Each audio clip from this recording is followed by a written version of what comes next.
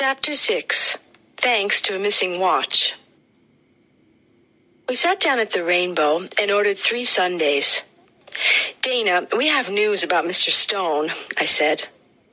Yes, although it's a very long story. Paul added.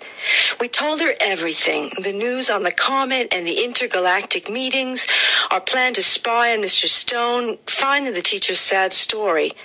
Dana's expression went from surprised to worried to ashamed during our tale. Our class must be much nicer to him, she said.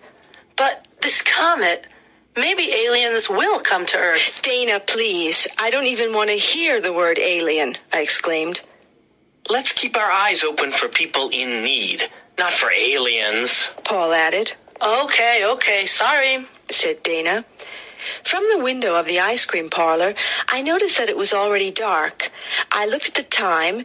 My watch wasn't on my wrist. Oh no, my watch! I exclaimed. Then I remembered. I left it in the gym. I took it off at recess to play volleyball. I must go and get it. But Jenny, I'm sure that the janitor will find it and put it in a safe place, said Paul. I don't trust him. That watch is so important to me. It was a gift from my grandfather. He's dead now, and it's the only thing I have of him. I must go to school immediately. But the school's closed now, Dana commented. No, not today. Mrs. Ching is at school all evening because she's preparing some math tests. I know because I heard her talking to Miss Smith. Okay. Well, I'll see you tomorrow then.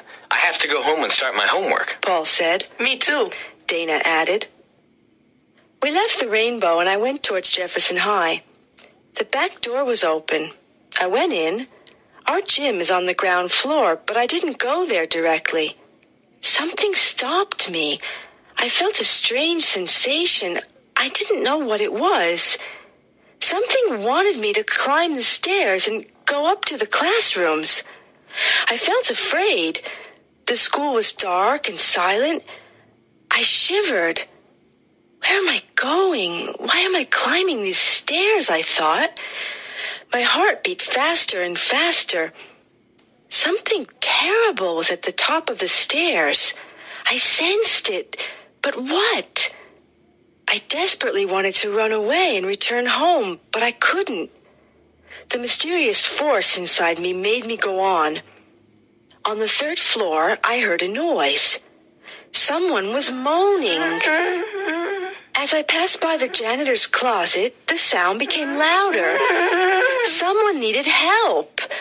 I opened the closet. It was Mrs. Ching. The old teacher was on a chair with her hands and feet tied. She was gagged and her eyes were open in terror. Mrs. Ching, I whispered. I took the cloth from her mouth. Help, she said. Someone is doing something wrong, and he or she is here now. The person is in disguise. Okay, Mrs. Ching, stay here. Whoever it is mustn't suspect anything. I put the cloth back in the teacher's mouth and left the closet. I looked around the second floor. I was terrified. Everything was silent. The long, dark hall was very frightening. Then I noticed something. A light was on in the computer room. I crept to the door. Someone inside was working on a computer. I could hear fingers clicking on the keys. Slowly, very slowly, I opened the door. Just a crack. It was Mr. Adams. He was typing a kind of code on the screen. Was it a password? Then he took a small plastic object from his pocket. It looked like a key. He inserted it in the diskette slot. The screen blacked out. It flickered. Then something appeared. It was the face of an alien. The alien had a green head and big red eyes. It didn't have hair and it didn't have a nose. Its mouth and ears were very small. Then Mr. Adams put his hands on his head. He was pulling at his hair. It started to come apart. He was taking off his hair and his face. A green bald head surfaced. I realized that he was identical to the alien on the screen. He put his face on the computer table. Then the false Mr. Adams started talking. Clyreg calls base. Clyreg here.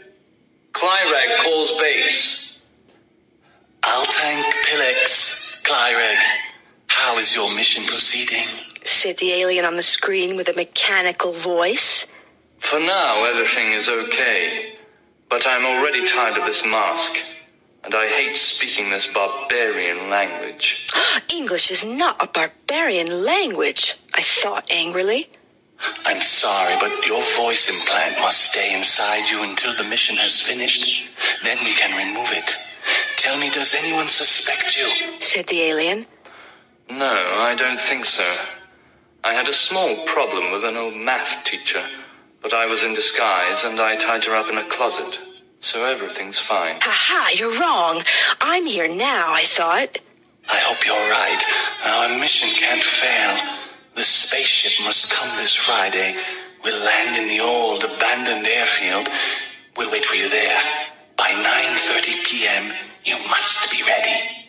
You must have the two students to take to Mitrax. We can't be late. When the comet leaves the Virgo constellation, we won't be able to travel anymore. The intergalactic doors close on Friday at midnight, said the alien on the screen. I know, I know. Don't worry. I must still choose the two students, but I think I know who I want. How will you capture the students? You can't touch them because you're electric. Aha! So the story of his prostheses was a big fat lie, I thought. On Friday evening, there is a family teachers' meeting. During the meeting, I'll leave the other teachers. While the parents are listening to the teachers, I'll ask the students to come with me. I'll invent an excuse. Then I'll take them to the science lab and I'll spray them with my hypnotizing spray. Once they're hypnotized, they'll do everything I say. They won't be able to think or rebel. We'll go out of the building by the fire escape exit and walk to the airfield, said Mr. Adams Clyreg. I'm sure he wants me, I said to myself. Be at the airfield by 9.30 p.m. then, Clyreg. Good luck.